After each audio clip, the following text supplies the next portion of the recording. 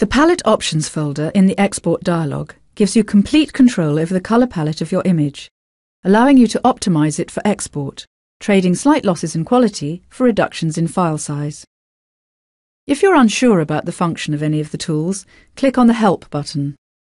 It will open a help file specifically related to the export and optimization functions. You can sort your colour palette by number of uses, luminance or hue. Sorting by number of uses is very useful as it allows you to see which colours are used least. You can then delete the least used colours from your palette to reduce your file size. You can also reduce the number of colours in the palette by changing the colour depth. Notice that as we change from 256 colours to 16 colours, the file size information is automatically updated.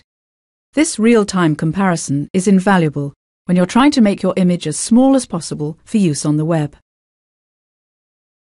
You also have the ability to directly edit specific colours within your image. To delete a colour from the palette, simply select the colour either by clicking on it or using the colour picker. Then click on the Delete button.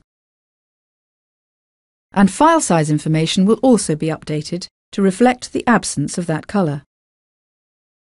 To restore a deleted colour, simply select that colour and click on the Restore button.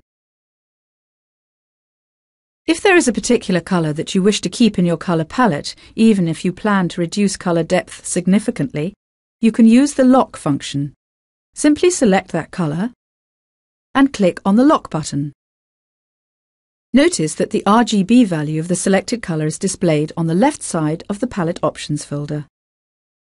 You can also make the background transparent by clicking on the Background Transparency button. And if you wish to make a specific colour in your image transparent, you can select that colour and click on the Make Transparent button.